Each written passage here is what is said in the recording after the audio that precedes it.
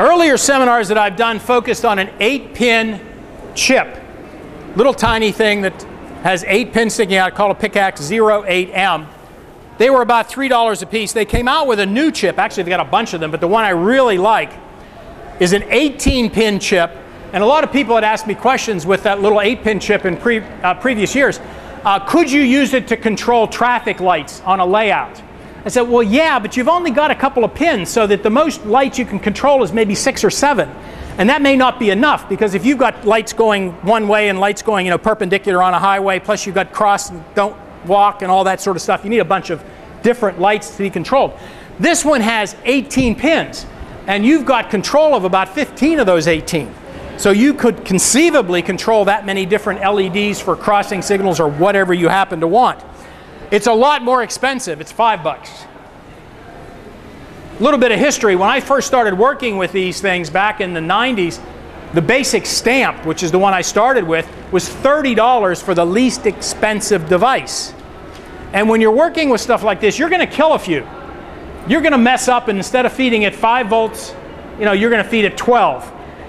And it's not going to work anymore. I have a box of them at home and I usually bring them to pass around, but you know, trust me, you're going to kill some. So it's a lot more fun to kill a $5 chip than it is a 30 or a $50 chip. This new chip, the 18M2, is much faster than the 08M. Has 15 pins that you can use out of the 18. Has much more memory, which is nice because if you're doing complex things, you need to be able to store more. It'll work down as low as 2 volts.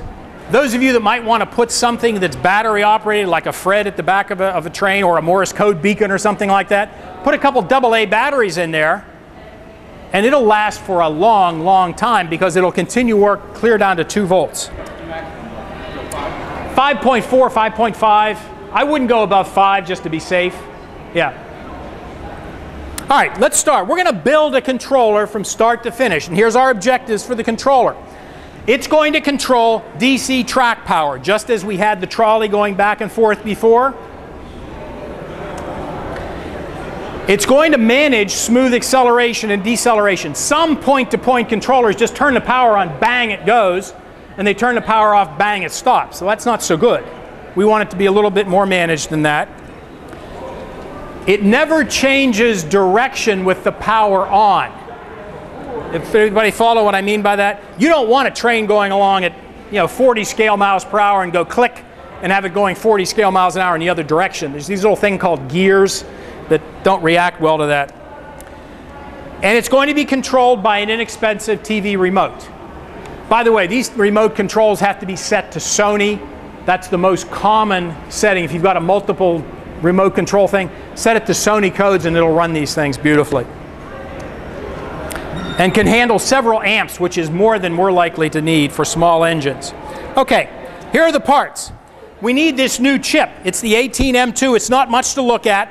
Uh, as a matter of fact, the best I can do is to give you a, a picture in a minute, but it's this little guy right here, this little black strip with 18 pins sticking out, nine on each side. You need a double pole, double throw relay. We'll talk more about what that's for in a minute. You need a power transistor. What I'm using is something called a MOSFET, which is it's nothing more than a transistor that works with higher powers real nicely. Inexpensive, couple bucks. The IR receiver chip that's going to get the control from the remote. You need a 5 volt power supply for the PICAXE. Now if you're going to run your train on say 18 or 20 volts, there's a little device called a voltage regulator. They cost about a buck and it takes your 18 and turns it into 5 and again some sort of 18 volt power supply for the train. We're going to start out with some schematics. All a schematic is is a pictorial diagram that shows how something is put together. There's a double pole, double throw relay that controls direction. Now I'm going to digress here again for just a moment. And somewhere here, this is a double pole, double throw toggle switch. And I've got a picture of it up here. And the way it works is kind of neat. You take power and put it into the center contacts and you do a crossover with the end contacts so that if the switch is thrown in one direction, you get the minus on this wire and the plus on this one. If you throw the switch in the other direction, they're reversed. And what happens when you reverse polarity? With a DC motor, it changes direction. So you need a double pole, double throw switch wired with a crossover. simplest thing in the world. Okay, here's our transistor. We'll show you that in a second. It, it gives, this transistor is not the one that controls the speed of the engine. What this one does is throw the relay because the pin on the PICAXE is not powerful enough, let's say, to throw a relay. And finally, we need a diode. I'll talk more about that in a second. Okay, there's the schematic. This is a relay, which is nothing more than this. And there's a coil that throws it for you. This transistor down here takes the power that comes off of that pin on the PICAXE and let's just say it amplifies it. It makes it stronger so that it can throw that. The important thing is this diode. Everybody's heard of back EMF. What that means is if you've got a coil that's energized, any kind of coil, whether it be a motor or a relay, and you turn the power off, when that field collapses, it puts a reverse voltage back into what it came from. Well, what's going to happen? If you let this thing collapse, it's going to put power back into that transistor backwards. It'll work for a while, maybe 50, maybe 100 times, but eventually it'll blow a hole through the junction inside of that transistor.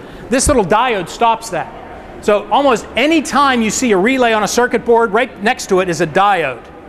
And that's to protect against back EMF. So we have the relay, we have the transistor, and we have the diode.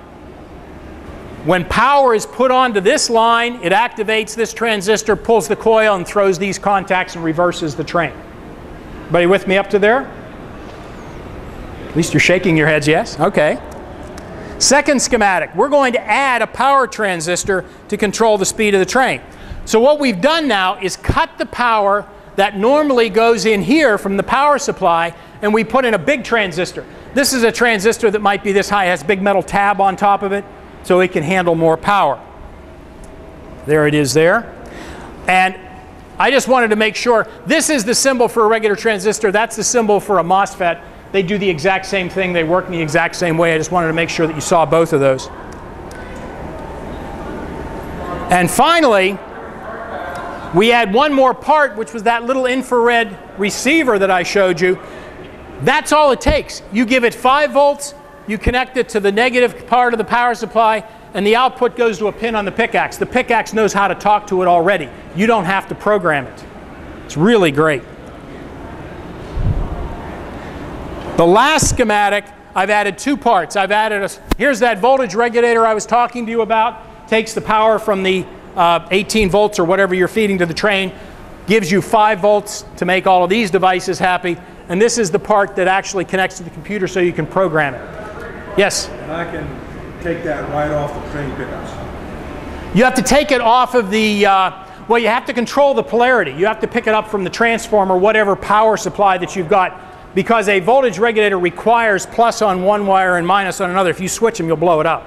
Okay, so I can't take it off the train pickups. It's got to come right. Well, you can, but then you have to use a bridge rectifier to make sure that the polarity is consistent. But remember, this is a trackside controller. This is your transformer that's supplying a constant 12 to 24 volts DC. This is the whole gizmo that's controlling it, and this goes to the track. This is not in a train. When I, had to, when I wanted to put it inside of the trolley, remember what I had to do? I had to add a bridge rectifier and some capacitors in order to put it inside. Okay? Well, I'm running DCC. Yes? So isn't that a constant polarity on the track in DCC? No, DCC is, is square wave sort of AC. It, it's, it's square wave AC, I'll call it. It goes from above to below, but not nice and smooth like this, but like this. Okay. So I'd have to hook directly into the transformer. Well, you wouldn't, do, you wouldn't use what I'm describing right here with DCC at all. This is to run a track-powered train, period. If you wanted to put something like this in a train that was on a DCC powered track, you'd have to put it in the train and you'd have to put a bridge rectifier and capacitor in there to give it consistent DC. Okay. This is this. So we can take a quick look at it and see what's on this. This is the PICAXE chip I was talking about. And if you want to take the time to count, there are nine pins down there and nine pins over there. This is that voltage regulator that takes the input power and converts it to 5 volts to make all this happy. This is the programming end of it. It takes two resistors. That's it. That connects right to your computer. This is a double pole, double throw relay. This is the little infrared receiver that takes control from the infrared remote control. This, you, it's a little hard to see, but that's the little transistor that throws the, uh, the relay, and hidden behind this is the diode. And those are those little resistors that fed the transistors. That's it. There's about, I don't know, $10 worth of parts there, maybe a little more, not much.